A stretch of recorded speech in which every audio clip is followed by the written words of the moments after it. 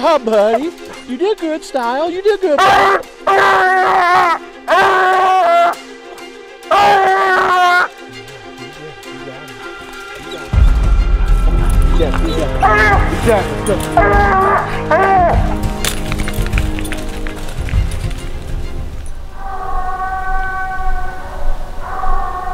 Cut him loose. Went about 300 yards in there. Went in about 50 yards and made a straight right hand turn. We're about 250 and just blew up on a tree. So we'll go in there and see if he has anything.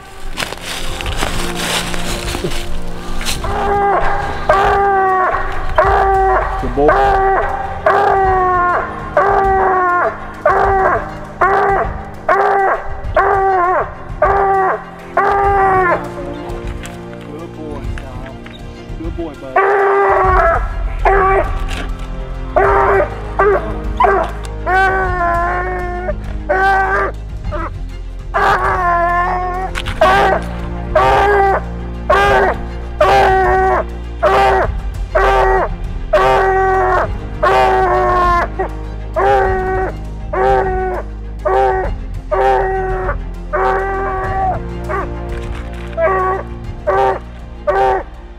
So this is my wife, Kristen, and she's actually pregnant right now. You want to tell them how pregnant you are?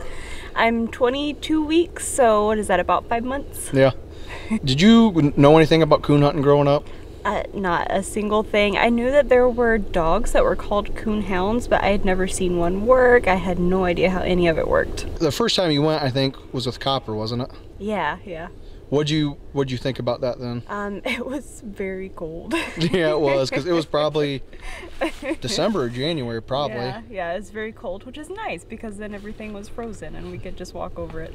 Um, it was, I don't know what to really say though. The sound that he made was just, I'd never heard anything like it before. You don't get to go out as much as I'd like, just because you got to sleep sometimes and you have kids. But what are I guess what are some of your favorite things about it?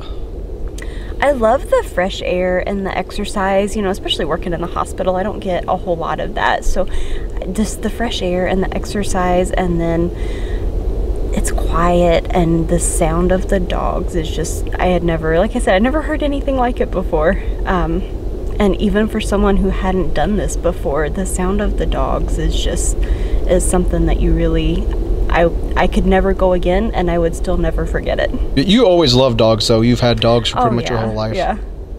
So that's one thing I've told a few people is if you like dogs, then this is a great way to get out and just experience memories with them and get exercise and Yeah. they love doing it. Yeah.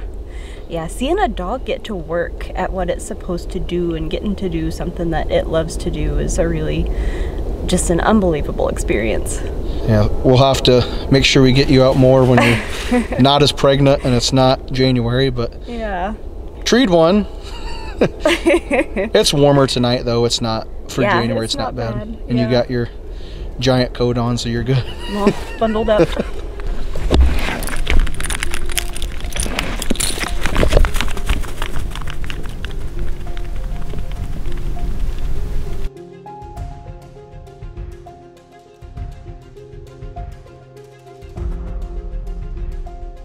Just got him turned loose.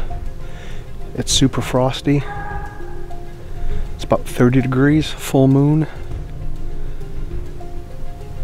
Typical January, other than it's warmer. But we'll see what he does with this track here. Ran a track. He's over by a ditch bank now. And it's getting about the time of the year where they'll just start breeding. So some of the tracks might be longer. And I wouldn't be surprised if I get in some dens and some holes tonight just because of the conditions. But he's definitely on the right track. I'm gonna try and see if this camera will pick up the echo. You can hear it about three times after he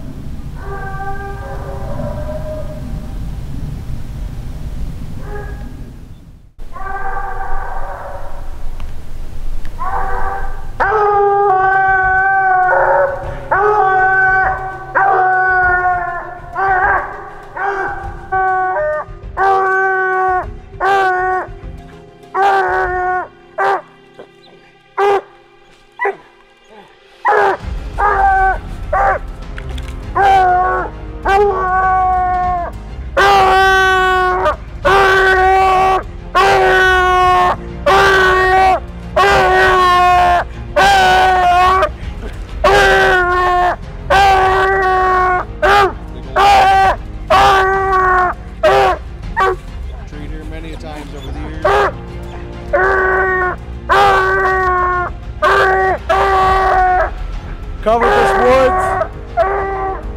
Gonna get out of here and go to another spot, see if we can get on one, probably be of fence tonight.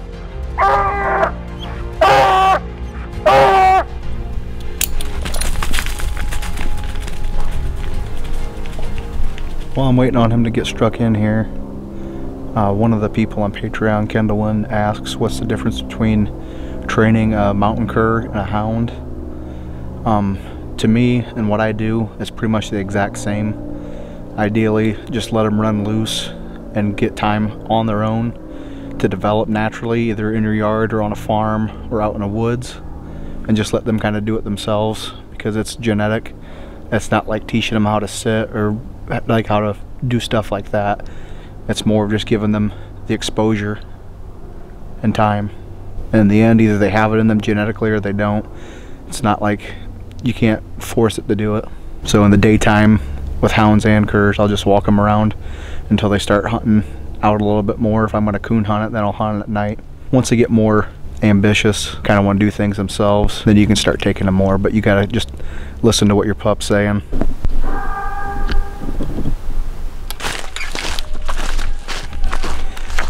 Just got him cut loose. Went about 330 yards in there. Barked about three times on the ground and just came treed on the edge of a swamp.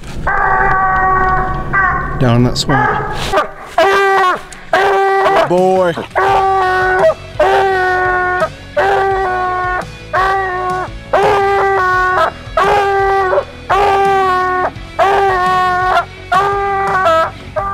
Good job, buddy. Treed on a den. Right on the edge of a swamp.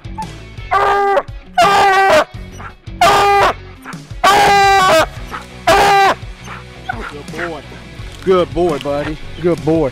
Good boy.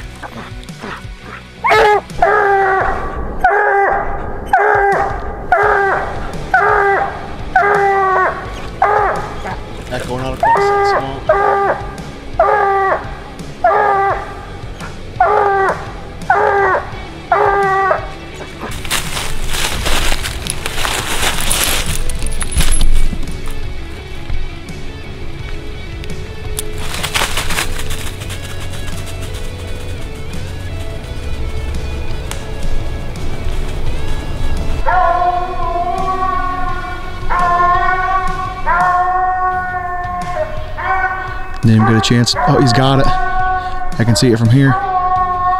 He went 66 yards.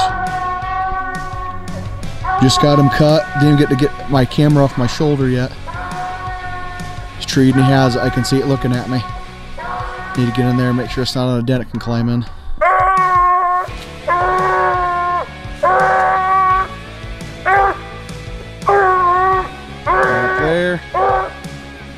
Right out there. Right on there.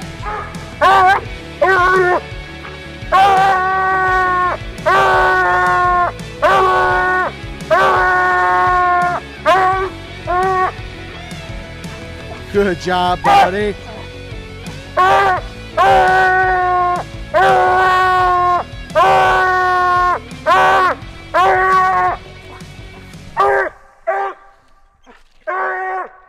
There he is.